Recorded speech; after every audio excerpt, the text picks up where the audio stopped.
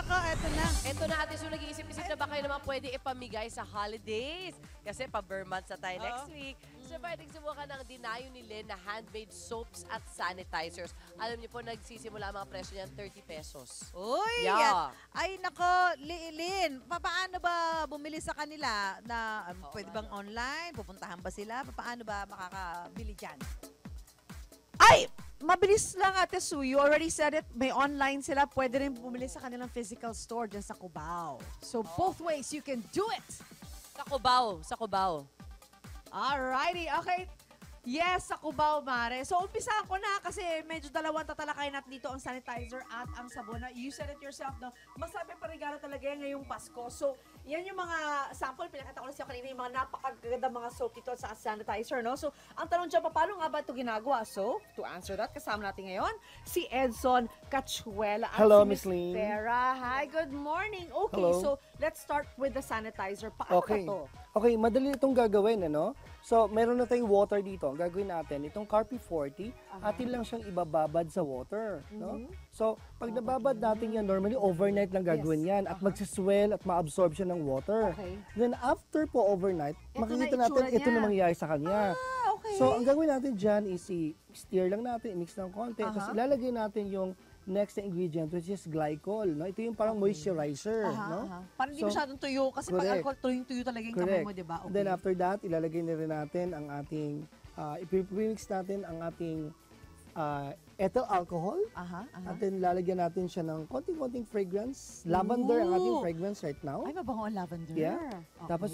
bigyan natin ng konting stir. aha. And then paghalo natin siya all together, no? So that's it. Basically, Yeah. halo ka, basically, Yeah. you just get the ingredients and halo-haloy mo lang. That's it, no? Very simple. Simple And then after that, siya. kung Okay. titignan mo ngayon, liquefied pa siya, no? So Oo. lalagyan natin siya ng thiamine. Okay. So pag lalagyan natin thiamine, magje-gel po yan siya any moment, no?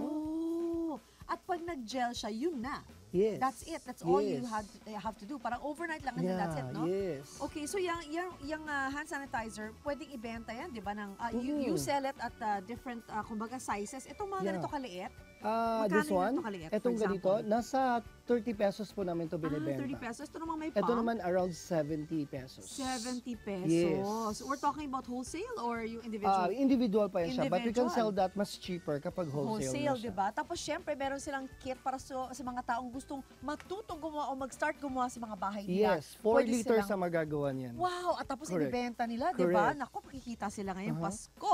Okay, Aha. ito yung ah, ginawa nating hand sanitizer. Ito naman ngayon, yung soap, yung molded soap kasama sa Miss Vera. So, paano ba ito ginagawa? So, ang gagawin natin ngayon Okay. is i-mix natin ang water at ang lye together. So, Okay. kailangan naka-gloves tayo ngayon at Oo. meron tayong mga protective goggles Mhm. kasi nga caustic itong lye. So, medyo umiinit yan at Ah. Oo. nagkakaroon siya ng fumes, no? ah, may So, amoy siya. Okay. Ah, umiinit siya, no? And then after Umiinit. after a while, mga after 5 hours siguro, nagiging Oo. ganito na yan ito na siya. itsura niya. So, ang tawag dito, this is lye water solution. oh. So, ang gagawin natin dito sa lye, wat, la- wa- lye water solution is that Mm-hmm. ihanda natin siya kasi ilalagay na natin all together ang ating mga oils, no? Okay. Ano mga oils So, natin? mga oils natin, meron tayong ah, castor oil, Aha. meron tayong canola oil, Mhm. ah, we also have palm oil, and then the coconut oil. Bakit no? ang daming oil? Ah, para mas maganda kasi the more oils, may kanya-kanyang characteristic ang mga oils. Oo. Merong highly moisturizing, Ah. Merong nag-harden, ha- bu- bubbling, tas cleansing. Ah, No? so talaga iba-ibang oil ang kailangan para mas maganda. Mas Tama. maganda yung ano so, ilalagay na natin ngayon ang ating ah, lye water solution. Mhm. Okay? Ba't kailangan natin siya i-strain? I-strain natin siya to make sure na wala pong mga Particles? particles or residues yung ating lye, no?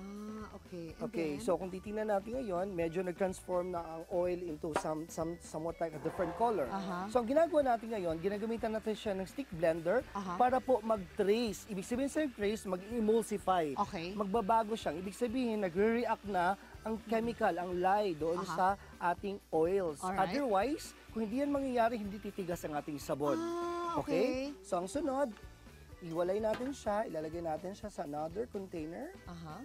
Okay? Oh, interesting this pala one? this one. Okay, and then? And then lalagyan natin siya ng fragrance oil. And then, okay, and then Ang pagkatapos fragrance oil natin, aha. that's orange papaya. Uy, ang no? bango niyan. Kanina ko pa siya na inaamoy Yeah. dito. Ang So, bango-bango let's niya. give it a little stir. Okay. And then after that, ready na ang ating mga molds dito. Mold. So ito, these are silicone Alright. molds. So atin na siyang ibubuhos. Okay, tapos papa, pa, paano natin siya patitigasin? On its own? On its Magti- own, titigas po yan siya. Ah! After 24 hours, magiging Ito ganito na na siya. itsura niya. So kung imomold na natin siya, it will look like this. So meron lang tayong mga beautiful colors na uh, in-incorporate to Oh. add beauty. Oo. So basically, it's up to you. Kayo mga bibili ko, anong gusto nyong uh, i-add, no? I-add, Kung anong no, kulay, color. anong fragrance, Correct. tapos ano yung moldy. Kasi doon talaga nagkakaiba-iba yung mga Correct. sabon, no? Okay, Correct. ito mga to, kada piraso magkano natin nabebenta? Ito pwede natin ito benta around mga 30 to 40 pesos. 30 to no? 40 pesos pag individual, no? Pag Tapos pwede individual. pa again bumaba Pag pagka bumababa, kapag uh, mas maramihan. Oo, Definitely. wholesale. Ngayon, kung gusto yung matutong gumawa or to do it on your own at home, meron din silang binebentang kit. Mga DIY kits. Oo, and then you also give uh, free Training program Training. every Saturday po sa amin. So if you wish to attend, drop by lang kayo sa amin. Every 1 o'clock po ang training namin. Ayun, makikita niyo naman yan sa unang hirit. I'm sure nakikita niyo yan dito sa TV niyo. Alright, mga kapuso, yan na ang idea na magandang ipang regalo o di kaya gawin niyo. Personalize ang regalo niyo for this Christmas kasi Vermonths na. Ito na, Correct. next week na.